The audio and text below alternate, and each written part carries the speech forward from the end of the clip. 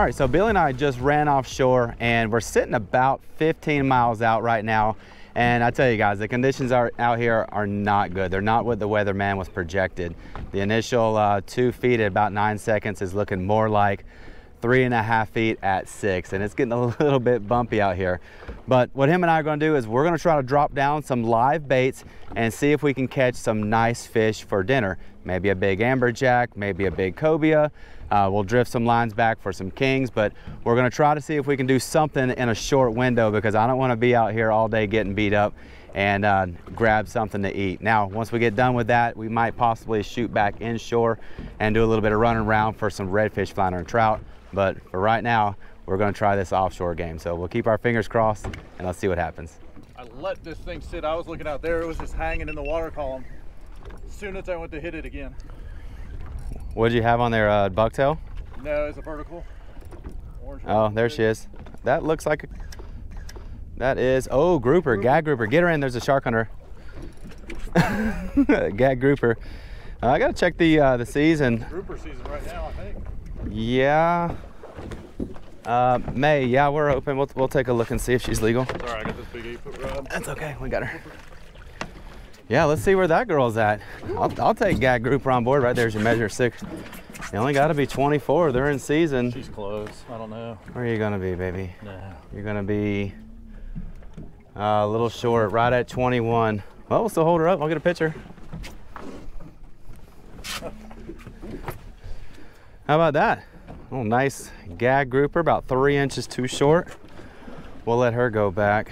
Go ahead, you can drop her in.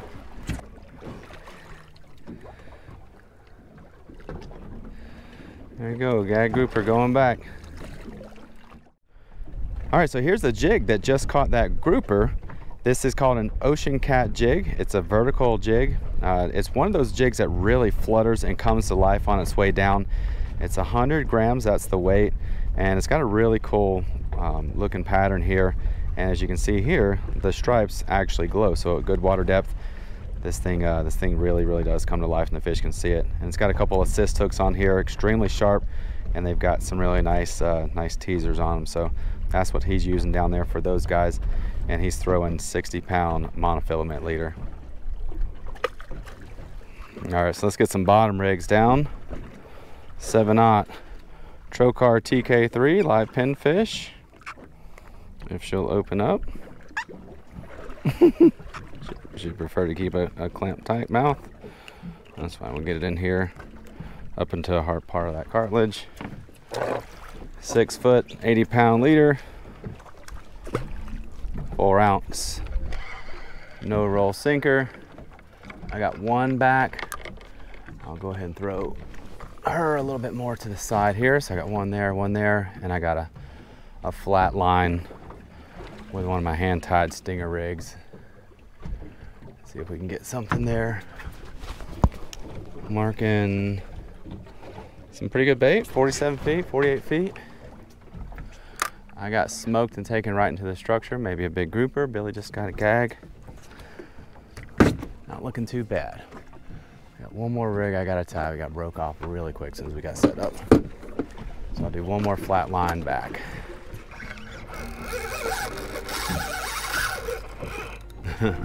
Feels sharky. Uh, it almost feels bull red. A lot of head, lot of head shakes. That's good news. Maybe cobia. Oh, it's coming up too fast for a uh, bull red.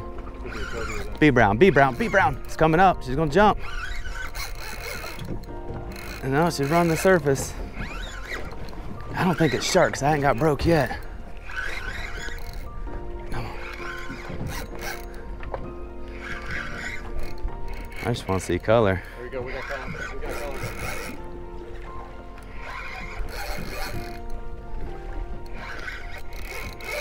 Doesn't look like a shark.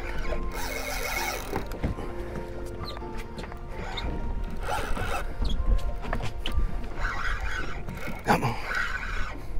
Come on. Oh, it looks like a, that's a nice jack. That is amberjack.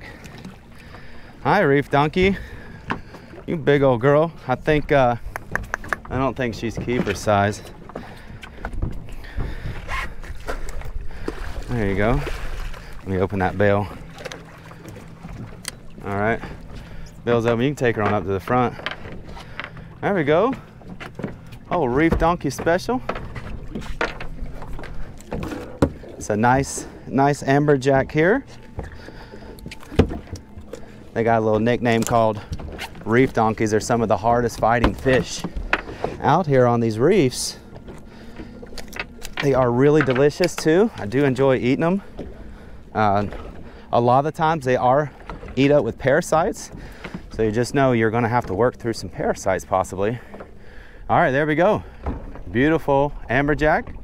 This is an amberjack. You can tell the difference between these and the Almacos because right here, this little uh, spiny fin thing right here, as well as this one, well, mainly, sorry, mainly this one that comes up is not dark, dark brown and it's not overly pointy. Uh, the ones that are really, really high point like that and dark are the Almacos and there's no size requirement on them. Only, uh, think you only keep 10 or 15 or something like that. But this girl here is 29 to the fork, 32 at the tail, and that is what we call fish tacos. So I'm gonna go ahead and get her uh, brained, bled out. We'll put her in a cooler and we are definitely gonna take her home and enjoy eating this little girl. So thank you, Lord, for that fish.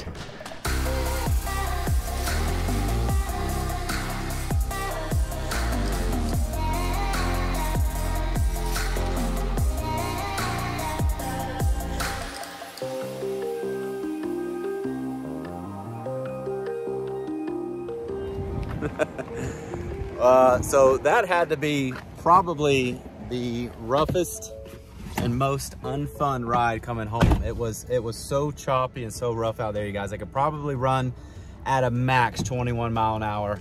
And from where we were, it took, gosh, it took right in an hour to get home. So uh, I'm not gonna sit here and complain, but what I am gonna do is I'm gonna take this dirty boat, head back to the house, try to get it washed down and rinsed down. I'm not gonna go too much in detail because I'm gonna take the family out on the boat. Possibly tomorrow we'll take a look at that. Uh, but I am gonna get this amberjack on the fillet table, get her filleted out and just kind of see how she looks. Again, like I mentioned out there, amberjacks are normally full of worms, at least towards the tail portion. So I'll be interested to see if there's some decent salvageable meat. If there is, and we're definitely gonna cook that girl up. So let's get out of here. I got a long ride back to Richmond Hill.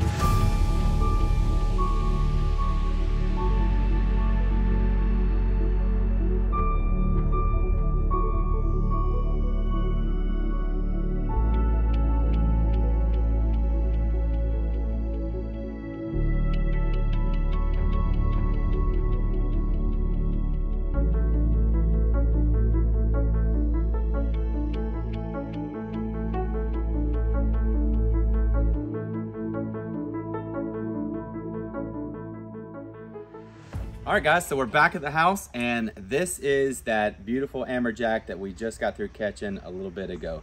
Now, as you can see from her uh, looks here, she's a little bit different. I got some ice still coming out of uh, the cavity. So what do, what I want to do is I want to show you real quick what I do with this fish after I catch her. So the first thing I like to do is I like to humanely dispatch this fish. So what you do is just take your knife, you stick it right in here in between the two eyes. I stab it straight in and I just wiggle the blade back and forth until you hit that brain. As soon as you hit that brain, you're gonna get a nervous reaction out of the fish. She's gonna do a little bit of this, which she's not suffering at that point. That's just, again, nerves reacting. You have killed that fish and she has been humanely dispatched. So the next thing I like to do is I like to take my knife and I cut right here, all behind the gills. I cut that artery right here and then I immediately stick her head first into a live well that is recirculating to get all of this blood pumped out.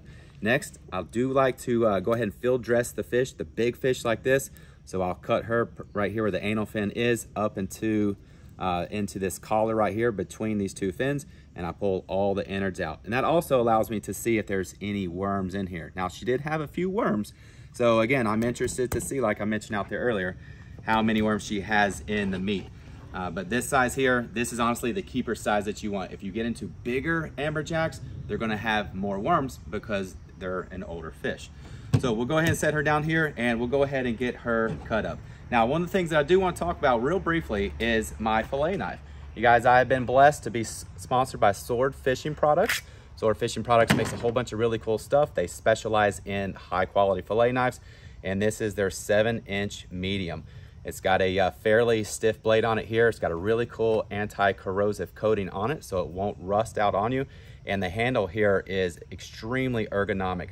I'm a gun guy and to me, you guys, this feels like holding one of my polymer handle style guns. So if you are if you are interested in picking up a Sord fishing knife or Sord fishing products knife, check the uh, the link in the descriptions down below. It'll take you right to the website and you'll be able to find this one here. But again, this is the seven inch medium. So let's go ahead and get this little girl cut up here. Now, I do want to, uh, you know, with any fish in the beginning, I want to just kind of put my hands on the fish, figure out where the head meat kind of ends and begins, and just to kind of get an overall impression of where my meat is so I don't wind up wasting any of the meat. So let's go ahead and give her a nice little cut. So I'll start right back here behind the, got this beat, won't leave me alone. Uh, right here behind the fin. So I'll make a nice little diagonal cut. Coming right down the fish, just like this here. Now this knife from Sord is extremely sharp, so you do have to be very careful with it. And now we're just gonna run right down the back like this. This fish is extremely cold. Every time I catch these fish, after I clean them, I immediately put them on ice. And what I did with this girl too, once I got all the guts pulled out, I went ahead and I shoved ice in there too. That way I, I cooled down that inner body cavity there, just kind of like you would do uh, if you field dress deer or you do handle big game like that. So I'll go ahead and start making these cuts, coming back towards me. Now, if you hear that, that is the backbone that I'm hitting. As soon as I hit that backbone, I go ahead and I start lifting up on the meat here.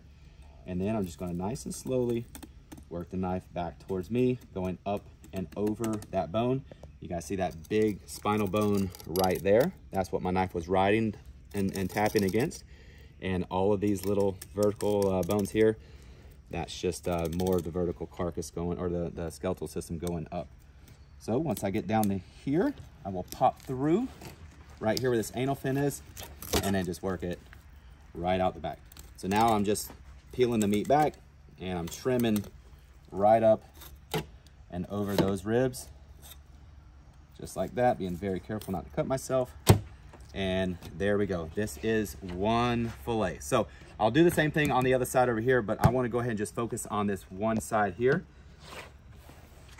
So I'll keep her down here on the side. Let's go ahead and pull the skin away from the meat. Really sharp knife. I'll let it do the cutting. I'll just kind of wiggle with my left hand, push a little bit slightly with my right. And I'm not trying to get too close to that skin because uh, these fish do have a decent bloodline that is in that skin. And I don't want to get in there and get a lot of that bloodline. See, this is what I was talking about. So if you go really, really close to the skin, you start getting a lot of that red bloodline like that. And this does not taste good. You don't want this in your, uh, in your food. So I'll go ahead and I'll trim that down here in just a second. But for now, we want to go ahead and cut out some of these uh, pin bones that run right through the dead center of this fillet. So what I'll do is I'll go ahead and just cut her straight out like that. Come over here onto this side. Now these pin bones are fairly big. They're not little pin bones like you'll get with some of your smaller inshore species. So I'll set that to the side. Go ahead and turn this over. This is where you can cut and clean up all of that bloodline. This is where, again, it helps to have a super sharp fillet knife so you're not losing a lot of that meat. Clean that up there. Clean that up there. Come across, hit that little piece just like that. Man, it feels good to have a really sharp knife. And get this one last little piece just like that. Now, let's take a look at the parasites while we're right here. Let's go ahead and cut this one last little bit of rib out. Okay, so this is all unedible meat. This is our edible meat right here. So let's see what we got. Now these parasites are white. Let me see if I can find one. This is what a parasite looks like right here. Kind of looks like a little spaghetti noodle. And what I can tell already from this fish is in this top loin, she doesn't have any parasites. So that is 100% clean meat, ready to go, ready to cook. We don't have to worry about cutting around or picking any out. Now here's the bottom loin, right? So she was basically sitting just like that. This was her head, this was her tail. So as you can tell on the bottom loin, she's got some parasites, right? So there's a parasite right here. So that's what that looks like there. She's got some more parasites in the tail down here. She's got some mixed in right here. You can tell right there. There's one there. So here's what I'm gonna do. I'm not going to cook this. I'm not gonna eat this. Uh, I'm not into, into eating parasites. Now there's a lot of research and study out there that shows that these parasites do not transfer to human beings. But uh, you know what? I got a decent amount of meat off of this fish. So what I'm gonna do is I'm gonna save this meat right here. I'm gonna do this, I'm gonna cut it up into little pieces, and then I'm gonna put this in a Ziploc bag. Next time I go out on my, my next offshore trip, this will be little chum pieces to throw out and to chum up for some more fish. So again, really nice big loin piece of meat right here. This will feed easily uh, two to three people. So you multiply that times two, we got enough dinner for my, my family as well as a few friends. So again, I'm gonna go ahead and just go ahead and knock the sides off and clean off the rest of the, this fish here. But as far as the video goes and you guys, we're gonna head into the kitchen and I'm gonna show you how to take this beautiful amberjack loin and turn it into a delicious dinner. All right guys, well welcome to my kitchen and what I'm gonna do with this amberjack is I'm gonna keep it easy. Now I like to cook dishes and get a little bit intricate sometimes, but sometimes you just wanna have a couple ingredients to make a really nice meal. So for this dish, we're gonna go with a little blackened season and just some good high quality olive oil. Now the blackened season I'm using today is a company called Coastal Badass. I'm not making this up, this is exactly what it's called. Uh, but it's a, uh, a, company out of Charleston, South Carolina. So if you guys are interested in picking any of this blackened season up, I'll link it in the description down below. But what I'm gonna do is I'm gonna take these fillets that I've already cut up into nice uh, portion sizes here. This is about a six inch, five, six inch portion size piece here. And I need to get a good coating of olive oil on them first. So I'll use my little Misto sprayer, give them a nice little spray. And all this is gonna do is uh, allow the, uh, the blackening to, to get a, basically just something to stick to or to adhere the spice to. And also, it's gonna get the edges nice and crispy. So I'll get that on just like that. Smear that around. So now with the season, you can go as light or as heavy as you want. Uh, I like my stuff a little spicy. My wife doesn't like it quite as spicy. So I'll take a couple pieces and not go, not go quite as heavy. So I'll make that hers. We'll just kind of pat it around a little bit. A little something like that. Don't forget to get the edges. And with mine, we'll go a little heavier.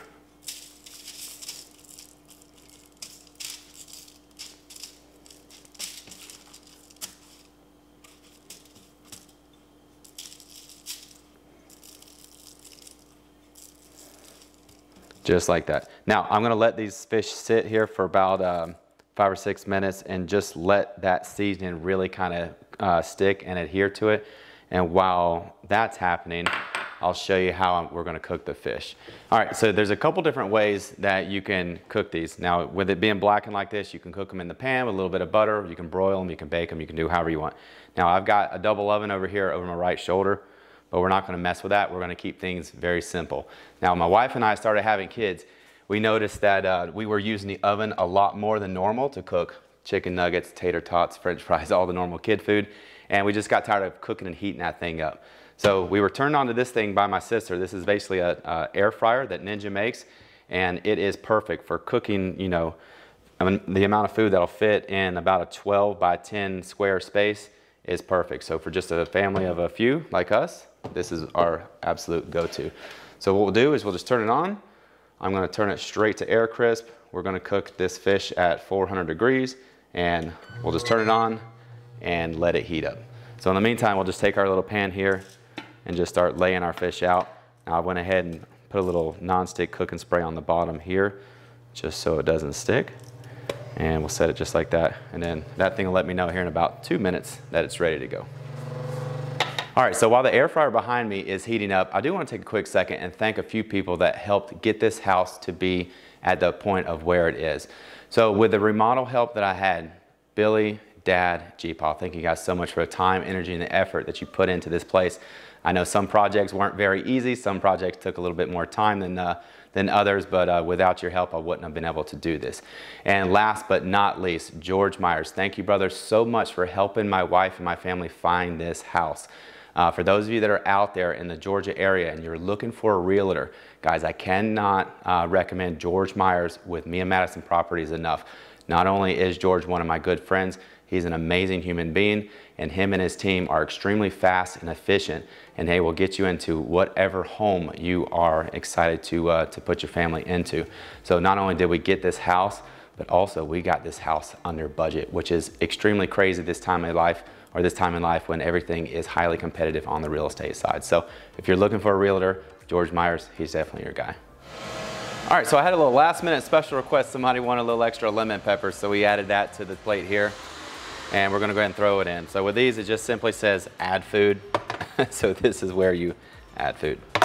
Just set it on top there, close it, and that's it. It's just a very small convection oven, and that thing's gonna take about five or six minutes. Now I'm gonna watch the fish once it looks done to me, I'll pull it out and I'll show you guys exactly what that looks like.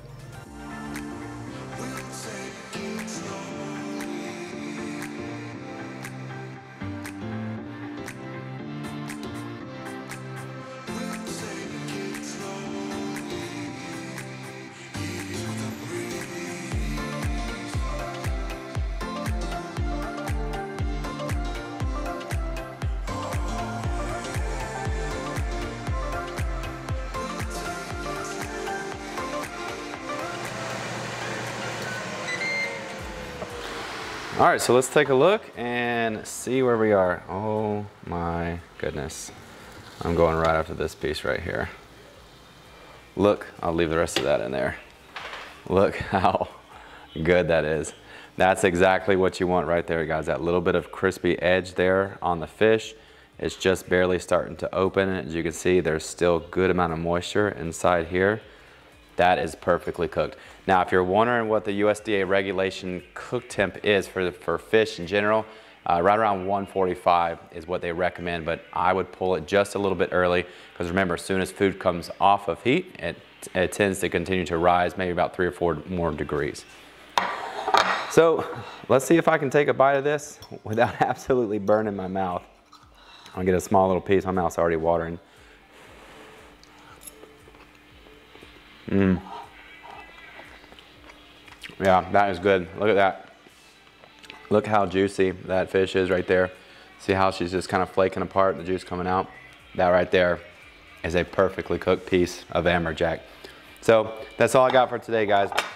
Thank you so much for uh, hanging in with the video with me. It was a good time out there fishing. Although it was a short trip due to the weather, Bill and I were still able to get out there, catch that nice amberjack uh, as well as that grouper, and I was able to uh, put a little dinner on a plate for myself as well as my family. So thank you guys. I hope you enjoyed the video. Take care, and I'll see you on the next one.